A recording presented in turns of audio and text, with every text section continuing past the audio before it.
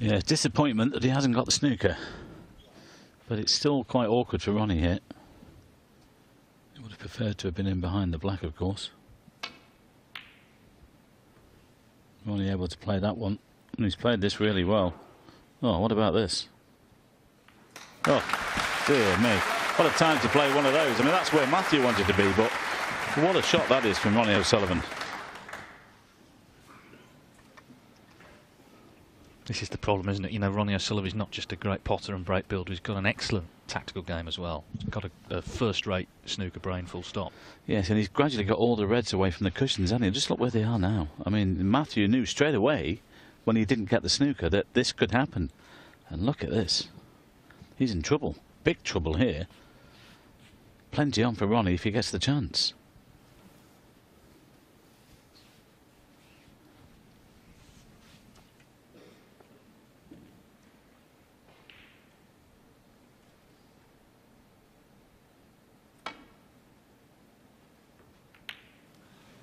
Caught the red. He just clipped it on the way through, but he's left things on.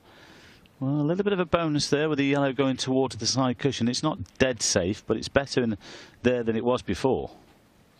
But that wonderful snooker that Ronnie laid is giving himself this chance. He's just checking the scoreboard regards colours with reds.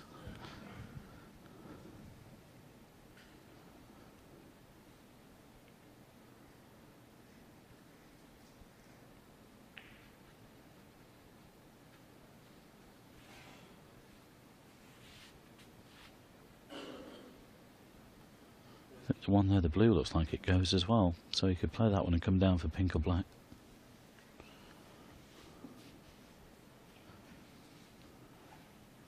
He's got some wriggle room here, that's why he's trying to do the calculations.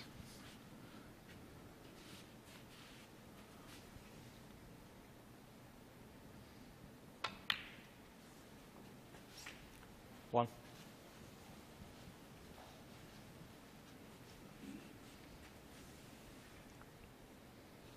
Well, the the brown puts him 41 behind, so he needs 42 off these last three reds and colours. Five. 15 off three reds.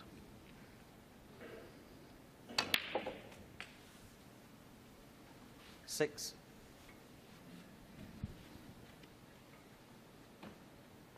Matt hasn't been his strong point this afternoon, has it? to send an abacus out there. Yeah.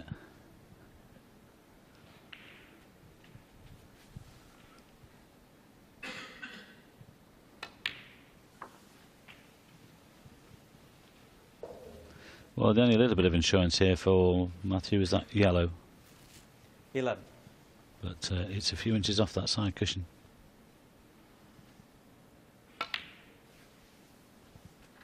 Twelve.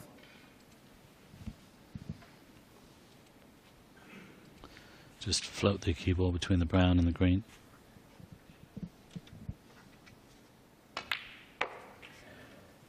Well, I was just looking at Matthew in the chair there when he when he tried to get him behind the black and he didn't, and uh, he thought, well, that was a, a a missed opportunity there to put Ronnie in trouble, and then we knew what happened. A wonderful laid snooker from Ronnie.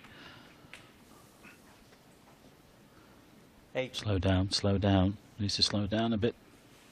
Ooh, does he have the angle to cannon the yellow? He can get him behind it. Still working them out.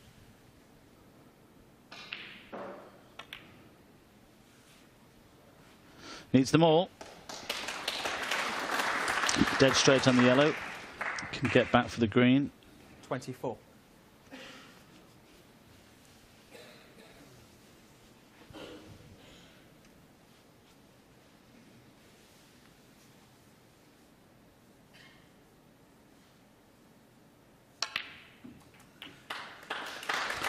Depends on the cannon.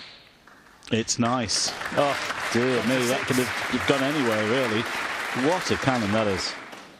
And he knows that this frame is now over. Yes, it was a nice nudge, but it was a nice snooker to start with from O'Sullivan. And this would be, I think, a very important frame to win because it puts distance from Matthew Stevens, who was looking to Thirty-three. close the gap. And was looking good to do that at one stage. And I just wonder, well, we might get a little bit of a reaction off Ronnie here because he knows the importance of this frame. When he's trying to play that black, when he didn't need to play it a couple of frames ago, he was in the zone. He, his calculations are all wrong. So that's how hard he was trying. But I just wonder, he'll know the importance of this frame. Well, he does need this black, and he's going to pot it for sure.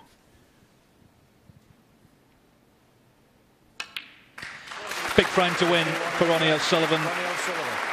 Put Matthew Stevens in a devilish snooker. And eventually, he's made the clearance. So Ronnie O'Sullivan, two frames from the quarterfinals. He leads by four frames to one.